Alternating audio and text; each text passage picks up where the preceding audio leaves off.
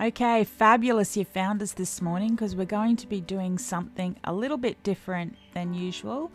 And I am cleaning up some of my paint pens. So I'm going to do that with you and paint a tutorial at the same time.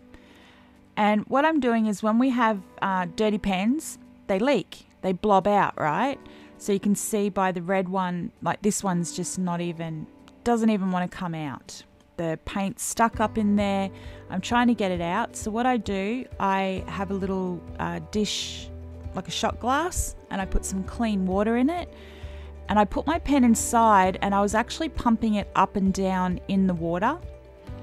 And here, then I give it a scribble and let that water just clear up the tip. But then I have lots of paint on my rock. So see what I'm doing? I just pick it up and smush it across onto another rock. I don't like wasting the paint that comes out.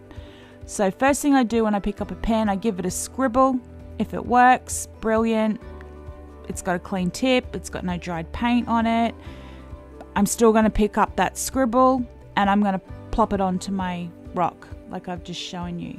The green's not working. I pumped it up and down a few times in my water, gave it a scribble. That was enough to get it clean, just pumping it up and down. And again, excess, like, yeah, it's still not quite flowing as well as I would like it to. Oh, there we go. Give it a go. But again, I've got all that excess paint uh, on Bert, my, my pet rock that I keep when I'm painting.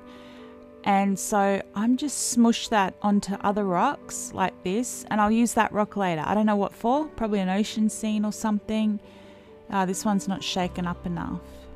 So I'll just and it's a metallic. I just want to stick to the seven basic colors.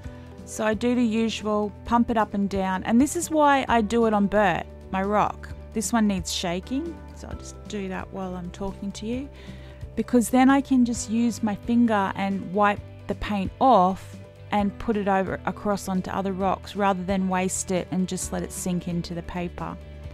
So again, I'm just giving it a bit of a blob and a smush and I've I had pre-painted a butterfly on this rock. I've got a couple of rocks that I just keep pre-painted on my desk for this purpose.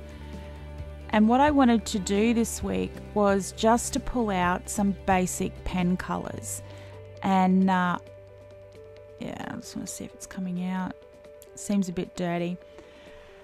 Because what I wanted to do was just grab like seven rainbow colors and just going like red, orange, yellow, green, light blue, darker blue, purple, a black and a white.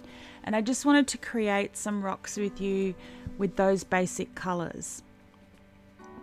Just to show you, you don't need a whole heap of colours to to get on and um, paint rocks. You can just buy a nice, easy, cheap set of pens, not cheap as in cheap quality, just inexpensive because they only it's only a 12 pack or a 10 pack of pens.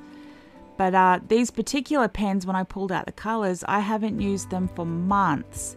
So they might have some dried paint on the tip, uh, anything like that. And so what I've got to do is to clean those up. So this is how I give my pens a quick clean.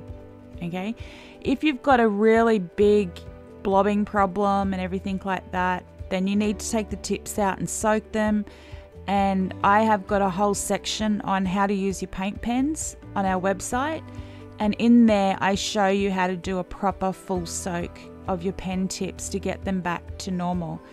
But a lot of people like to blame the pens but you can see just in, you know, this video, which probably won't even go for five minutes, how I just cleared off seven paint pens and I've created a rock at the same time. And here I'm just, you know, redefining all the edges, bringing back that butterfly image.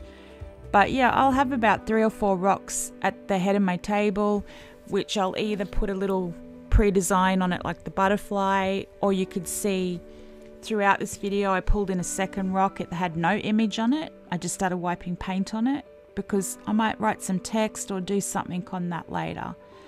Um, so you can see here, it's just this, turned this, um, a job I had to do. I had to clean up my paint pens to, to do the tutorials for the rest of the week. But you can see here, it's just um, turned into a gorgeous rock. So I did two jobs at once painted my rock, cleaned my pens. And if you've got any questions about how to do that, please jump onto our Facebook group today or any day.